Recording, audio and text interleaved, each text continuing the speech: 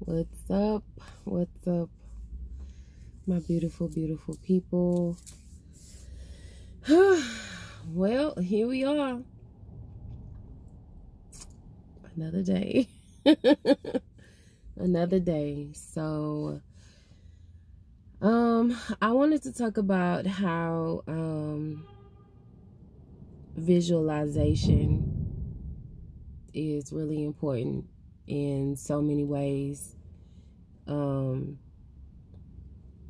for those of you who come from a negative thinking process, and a lot of that negative thinking may also come with some negative visuals too.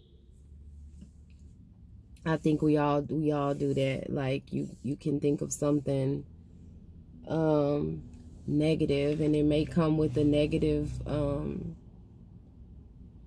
picture in your head. And you know that comes from just we've programmed ourselves to do that. I just feel like nobody said for us to do that. We we did that because I, I just feel like a lot of times we don't we don't believe that things can just be all good. You know, there always has to be, you know, if something good happens to you, that might to some people be an indication that something bad is about to happen. Like, uh-uh, like that's too good to be true. You know, type. But maybe it is, and maybe, you know, maybe it is good because maybe this is healthy and you're so used to toxic things that when something healthy comes along you're kind of nervous about it but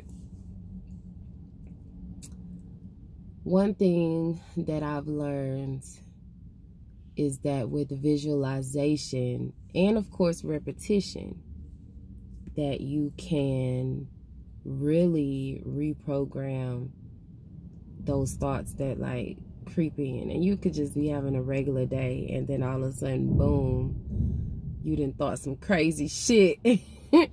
And so like I think I did a video before where it talks about if you think something negative follow it up with like three positives right after that and do that consistently and then you'll come to a point where it's like soon as you think something negative your brain has like your subconscious has already it's already kicked in and it's it's ready to give you three positive things behind that negative thought. So that's one thing it's like to once you say something or think something negative follow it up with three positives. And then something that I started doing was um like when those crazy visuals come in your head and I'm talking crazy. I'm talking like shit that you know damn well you probably would never do or it just be like your mind just really creates these scenarios to where you know you wouldn't do that shit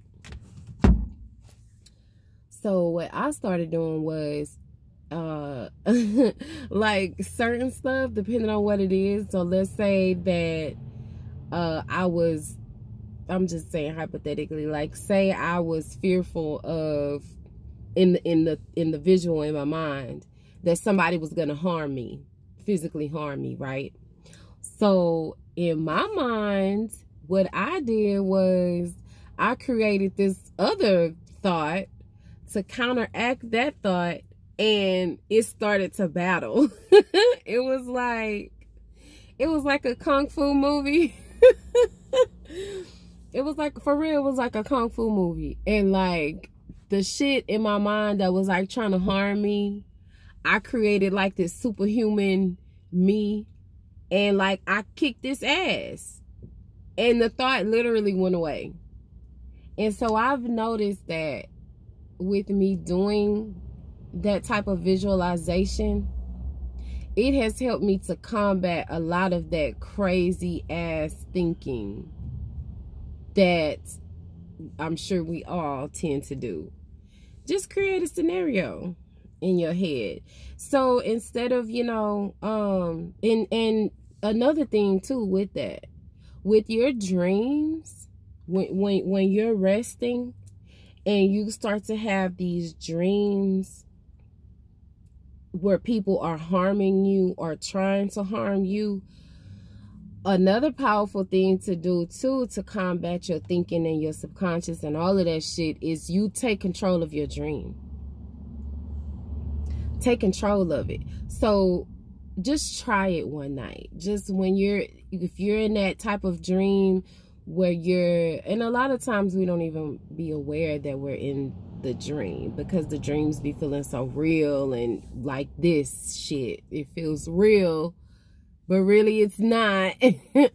so just try it. Like, try to take control of your dream and anybody in the dream who trying to harm you, like, kick their ass. Like, just try it. Because, see, I had this one dream, and then I'm a bounce. I had this one dream where this, um, I was clearly, um, like a shaman or like a witch, a, a witch doctor, or I was something like extremely powerful.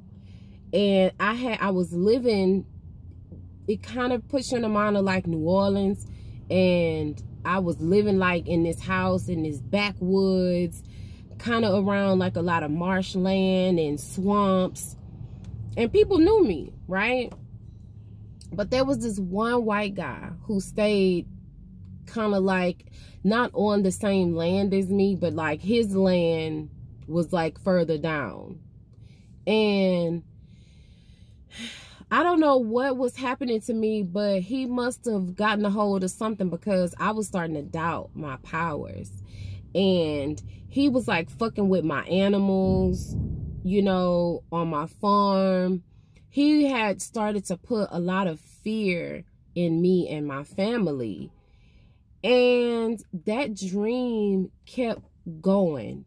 It kept coming to me very frequently. And so I was listening. I don't know. I think I was listening to to uh my uncle Bobby Hemmitt. ain't really my uncle, but y'all know I fucks with. I feel like in my head, Bobby Hemmitt is my uncle. So whatever. and I've adopted Panic too. So whatever. But anyway. and so one night I told myself, if that dream comes back up, this white dude got me fucked up. Like he not about to continue to do this to me.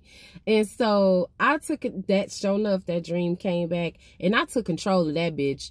I did a spell and within that spell I had some alligators come out the swamp.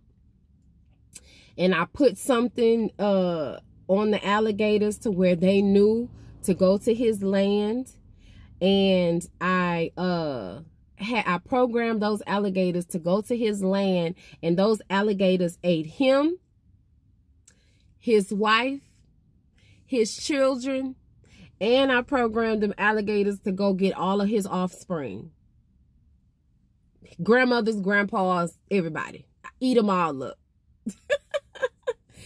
and when I did that, that I haven't had that dream since. I haven't had that dream since.